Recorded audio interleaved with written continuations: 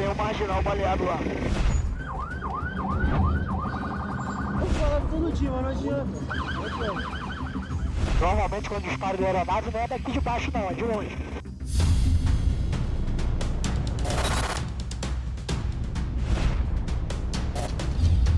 Uma família vítima de um assalto enfrenta o pânico. Já foi outro na, na minha filha pedindo pra ela desbloquear, minha filha esperar chorar, minha sogra se jogou no, no chão do carro atrás, jogou o celular. Aí nisso a gente só escutou o tiro. Um dos três assaltantes dispara. Percebeu o disparo dele ou no adrenalina não percebeu? Não, eu senti o disparo, eu pensei que ele tivesse acertado a minha filha. O núcleo de operações especiais flagrou a ação dos bandidos. A gente teve que esperar um pouco. Eu nem vi, porque na hora que eu fiquei de baixo, porque o pessoal naquele momento. O NOI da Polícia Rodoviária Federal tentou primeiro a rendição, mas os bandidos não recuaram. Põe a janela ali certinho. Porque pra mim se demora, irmão. Tu fica. É. Porra, vai que dá uma pirocada na cabeça dele toda ali. Tá... Não esperar muito também não. Os criminosos atiraram nos agentes. É, almejaram vocês. Sim, pô. É, inclusive botou a vida da- das vítimas em risco, né? Estão em estado de choque lá. Inclusive, uma equipe foi levar a, a esposa do, do rapaz pro hospital e o rapaz foi roubando o carro. Tentaram roubar o carro deles.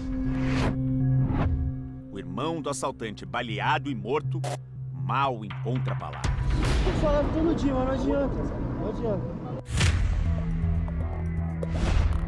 O irmão tentou e a mãe ainda mais. Ele é da pedreira? Aí, a gente era de Brasília. Aí conforme lá virou comando vermelho, aí a gente saiu de lá. A gente nunca foi criado esse negócio de favela. Minha mãe, como nunca, nunca gostou disso, ela saiu de lá. Ele decidiu não abandonar o crime. Ele tinha alguma facção, alguma coisa? Ah, vou sair, tá, vou de Uber. Vocês saíram de lá porque lá virou comando vermelho, pra mim parece terceiro comando. É, porque, tipo assim, praticamente o pessoal lá botou um monte de gente pra ir embora. Escapar ileso de bandidos violentos parece até proteção divina. Eu e minha filha fomos na Aparecida. Foi aparecendo? É, vida Aparecida. Tava voltando hoje? Não, fui hoje de manhã, saí para 6 horas. Assisti a missa lá que eu todo mês, voltei. E também a intervenção das forças de segurança. Pelo que eu sei, a equipe estava voltando de algum lugar, se deparou com um assalto e baleou um, um- um bandido.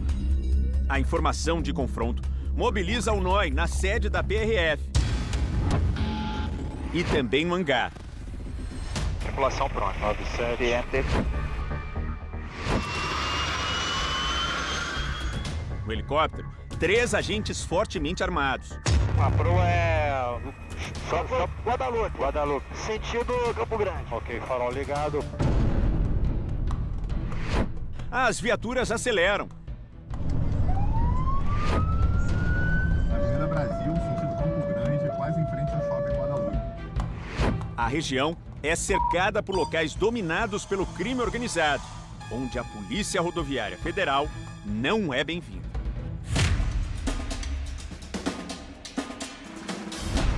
O emprego primordial da aeronave, função básica dela, é o apoio a pessoal de solo, viatura, patrulha, e ela vai ampliar a visão desse PRF, dessa equipe.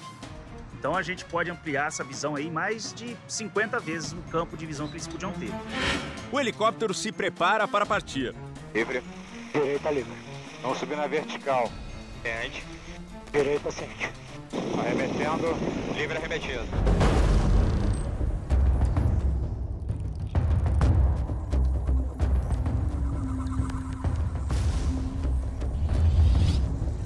O trajeto por terra é de apenas 3 quilômetros, mas as equipes enfrentam um trânsito carregado.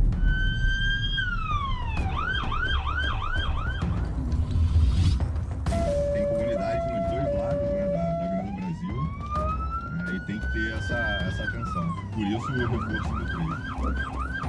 No alto, a aeronave da PRF se aproxima do local. Já teve cheiro, né? teve. Acho que tem um marginal baleado lá. Comando, vou carregar aqui. Frente. O desafio é não ser um alvo fácil dos traficantes, que têm munição antiaérea. Por isso, os dois policiais nas portas preparam as armas. Carregado e travado. Esquerda e direita. Frente. Em terra, o motorista da viatura manobra para vencer o congestionamento. Ele precisa acessar a pista local e, mesmo com a sirene, não é fácil.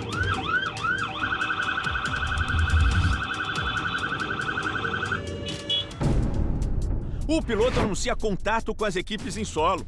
Vou na esquerda. Esquerda livre curva. Visual com os colegas? Visual.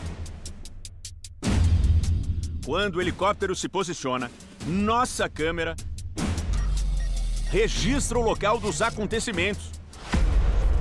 Tá vendo as equipes lá embaixo, tá vendo? Visual.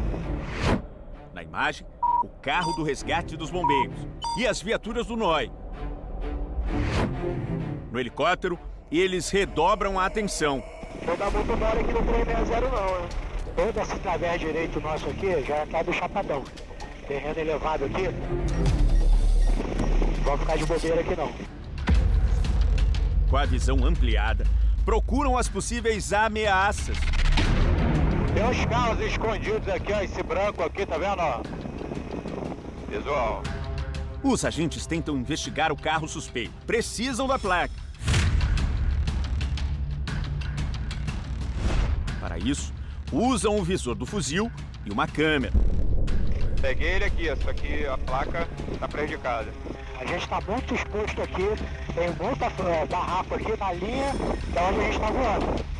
Normalmente quando dispara da aeronave não é daqui de baixo não, é de longe. As viaturas chegam. Eles descem aqui direto. Sobe aqui, rouba e desce. Além do NOI, policiais militares e socorristas do Corpo de Bombeiros.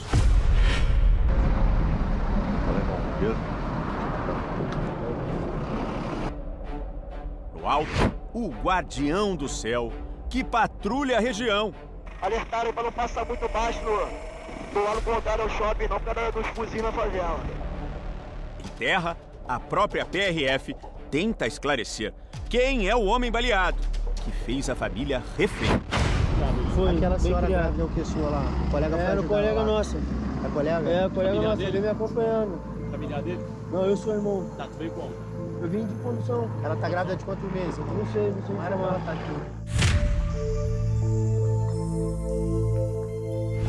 Quando Noi flagrou o assalto, o criminoso estava com uma das vítimas sob a mira da pistola. Tava aqui, né, cara? Com a pistola aqui, senti Não, ele tá na cara. Dispararam, né? Face a, a nossa equipe, eles revidaram a injusta agressão e acabou o meliante indo a óbito. Os outros dois fugiram para a comunidade ali conhecida como Morro dos Chaves e levaram o pertence das vítimas, celulares.